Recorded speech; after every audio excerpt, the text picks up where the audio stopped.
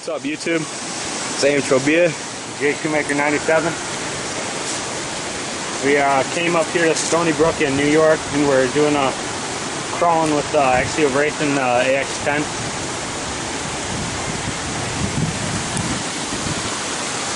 I just see the waterfall down there.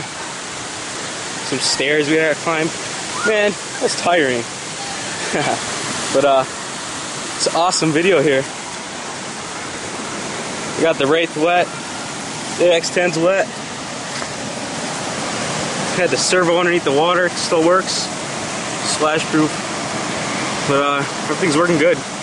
Got my speakers wet. But uh, awesome video here.